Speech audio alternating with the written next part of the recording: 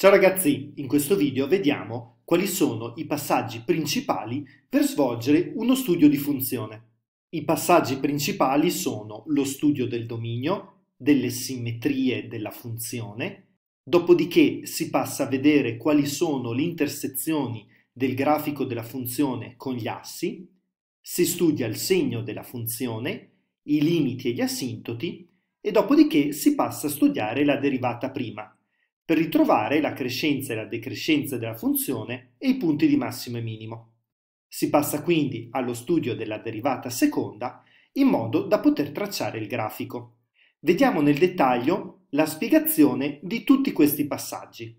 Vi consiglio inoltre di guardare i video che trovate nel canale dedicati a questi argomenti e che ritrovate riportati in descrizione.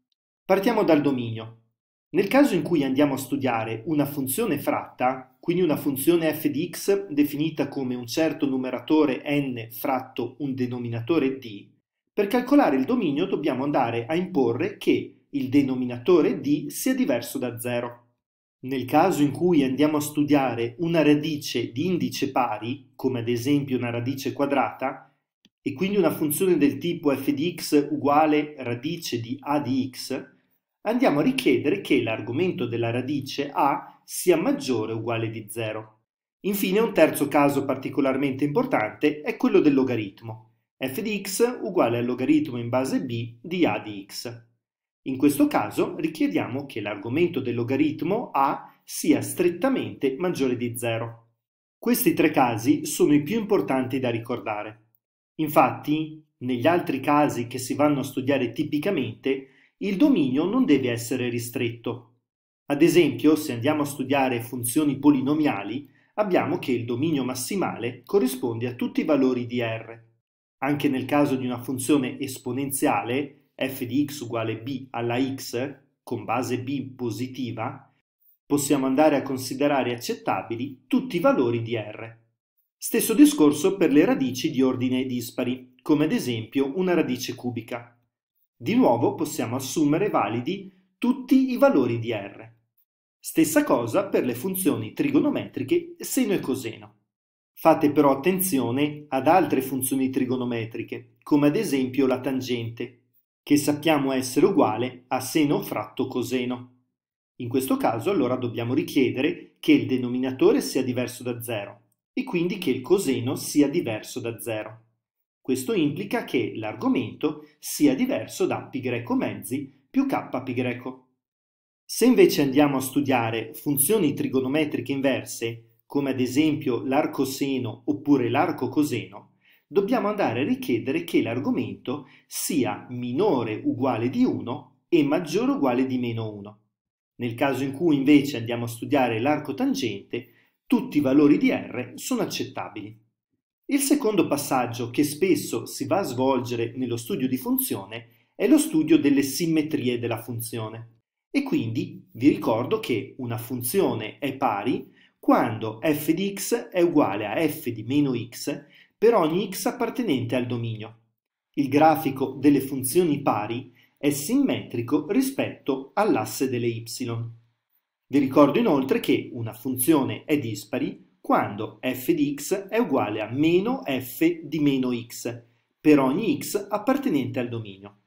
Il grafico di una funzione dispari è simmetrico rispetto all'origine degli assi. In questo canale YouTube trovate due video dedicati alle funzioni pari e dispari che vi consiglio di guardare. Il prossimo passaggio dello studio di funzione è lo studio dell'intersezione con gli assi. Possiamo allora determinare l'intersezione del grafico della funzione con l'asse y andando a porre x uguale a 0 e calcolando f di 0. In questo modo troviamo come punto di intersezione 0 f di 0. Chiaramente questo passaggio si può svolgere solo nel caso in cui x uguale a 0 stia nel dominio. Possiamo poi determinare l'intersezione del grafico della funzione con l'asse x risolvendo l'equazione f di x uguale a 0. Fatto questo passaggio vi consiglio sempre di riportare quanto trovato sul grafico che andate a costruire man mano che studiate la funzione. Fatto questo, si passa allo studio del segno della funzione, un passaggio particolarmente importante. Dobbiamo andare a risolvere la disequazione f di x maggiore di 0 per determinare in quali intervalli la funzione è positiva o negativa. Fatto questo, vi consiglio di riportare quanto studiato sul grafico, utilizzando il metodo delle regioni. Ciò significa che, dopo aver riportato i punti di intersezione con gli assi, potete andare a cancellare le zone in cui sicuramente il grafico non passerà. Quindi, negli intervalli in cui la funzione è positiva, andate a cancellare questa zona negativa sotto l'asse. Viceversa, negli intervalli in cui la funzione è negativa, cancellate la zona che sta sopra l'asse. A questo punto si passa allo studio di limiti asintoti, uno dei passaggi fondamentali in uno studio di funzione. In particolare si vanno a calcolare i limiti, eventualmente limiti destri o sinistri, verso gli estremi degli intervalli che compongono il dominio che abbiamo calcolato precedentemente. Andiamo quindi a studiare i limiti verso quei valori che abbiamo determinato nei passaggi precedenti. Se troviamo che il limite per x che tende a x con 0 di f di x è uguale a più infinito o analogamente il limite sinistro, cioè il limite per x che tende a x con 0 meno di f di x è uguale a più infinito, Stessa cosa nel caso in cui questi limiti facciano meno infinito, possiamo dire che la retta di equazione x uguale x con 0 è un asintoto verticale per la funzione. Quando invece il limite per x che tende a più infinito di f di x è uguale a un valore reale L, o analogamente quando il limite per x che tende a meno infinito di f di x è uguale a L, possiamo affermare che la retta y uguale a L è un asintoto orizzontale della funzione. Nel caso in cui il limite per x che tende a più infinito della funzione sia uguale a più infinito oppure a meno infinito, potrebbe esserci un asintoto obliquo.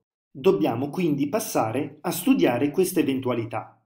Un asintoto obliquo è una retta di equazione y uguale mx più q in cui il coefficiente angolare m è dato dal limite per x che tende a più infinito di f di x fratto x. Per esserci l'assintoto obliquo, questo limite deve esistere e deve essere diverso da 0 e diverso da infinito. In questo caso andiamo allora a studiare l'intercetta q, che è data dal limite per x che tende a più infinito di f di x meno mx. Per esserci l'assintoto obliquo deve esistere questo limite ed essere diverso da infinito. In questi casi, allora ritroviamo che y uguale mx più q è un asintoto obliquo per la funzione. Chiaramente queste formule funzionano anche per x che tende a meno infinito. Vi consiglio di guardare i video dedicati a questo argomento che trovate nel canale. Concluso lo studio dei limiti e degli asintoti, si passa allo studio delle derivate, e in particolare della derivata prima e seconda in modo da poter determinare la crescenza e la decrescenza della funzione, i punti di massimo, minimo locale oppure i punti di flesso, i punti di non derivabilità e la convessità oppure la concavità della funzione. Vediamo questi passaggi nel dettaglio, partendo dallo studio della derivata prima. Se la derivata f' di x è strettamente positiva per ogni x appartenente a un intervallo AB, allora la funzione è crescente in questo intervallo. Viceversa, quando la derivata f' di x è strettamente minore di 0 per ogni x appartenente a un intervallo AB, la funzione è decrescente nell'intervallo. Nel caso in cui la derivata prima sia uguale a 0 in un punto x con 0, si dice che x con 0 è un punto critico oppure un punto stazionario della funzione. Possono esserci allora tre casi, che x con 0 sia un punto di massimo locale per la funzione, in questo caso la derivata seconda in x con 0 è minore o uguale di 0 e la funzione è concava. Può essere che x con 0 sia un punto di minimo locale. In questo caso la derivata seconda in x con 0 è maggiore o uguale di 0 e la funzione è convessa. Può essere infine che x con 0 sia un punto di flesso orizzontale. In questo caso la derivata seconda in x con 0 è uguale a 0. Studiando la derivata prima, troviamo anche i punti di non derivabilità, cioè i punti in cui non esiste la derivata prima. In questo caso, se x con 0 è un punto di non derivabilità, potrebbe essere un punto angoloso, oppure un punto di cuspide, oppure un punto a tangente verticale. Vi consiglio di approfondire questo argomento guardando il video dedicato. Passiamo infine allo studio della derivata seconda. Se f secondo di x è maggiore di 0 per ogni x appartenente a un intervallo AB, la funzione è convessa nell'intervallo.